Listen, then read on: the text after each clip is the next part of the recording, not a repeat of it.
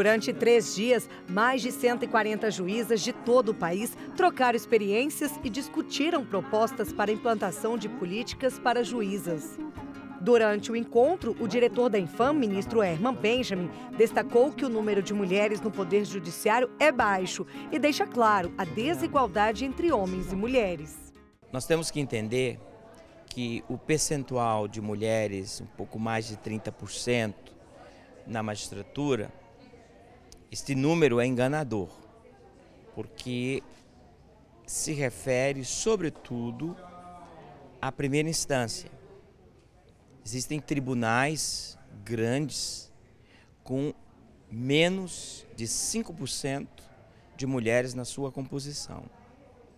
Portanto, não basta apenas pegar o número seco para dizer, olha, nós estamos bem na fotografia. Nós não estamos bem na fotografia no que se refere ao princípio da paridade de gênero na magistratura brasileira.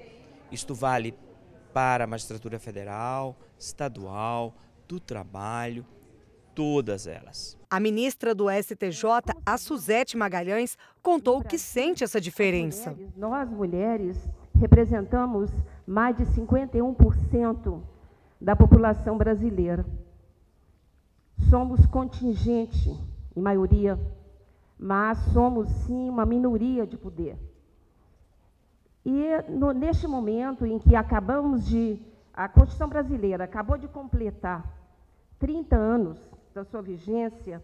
A Constituição, que sabemos todos, ela equiparou homens e mulheres em direitos e obrigações.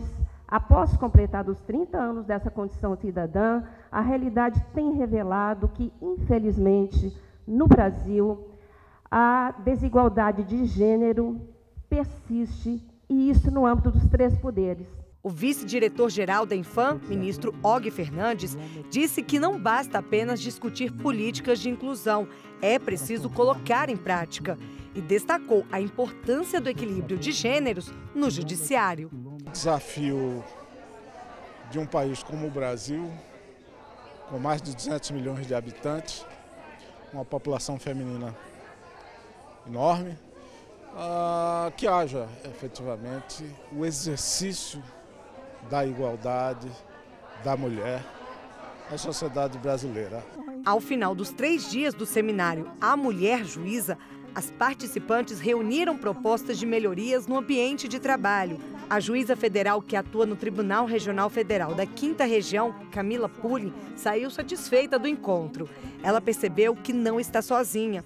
Podemos é trocar experiências e podemos ver também o quanto nossas experiências também são muito parecidas, né? As nossas angústias, é, os problemas pelos quais a gente passa, as causas que a gente julga, que apesar de serem diferentes em termos de matéria, mas as nossas expectativas, as nossas, os nossos desejos são muito parecidos. Vimos assim todas as dificuldades na representatividade de mulheres nos seus quadros principalmente nos cargos de chefias. A mulher dá uma outra visão, um outro olhar aos processos que são julgados, né, com, com todas as suas características que são importantes nesse processo decisório.